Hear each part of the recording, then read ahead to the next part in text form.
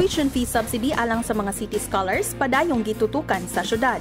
Gihatagan ni City Mayor John Jasnel Babayap og pasidungog ang mga city scholars nga milampos og nakapasar sa board exams. Uban ni City Councilors Joseph Bompat, Jonas Cacho, Greggy Gatalog, SK Chair Tom Vergara, nadasig ang mga city scholars atol sa awarding ceremony dito sa Tagbilaran City Hall Atrium.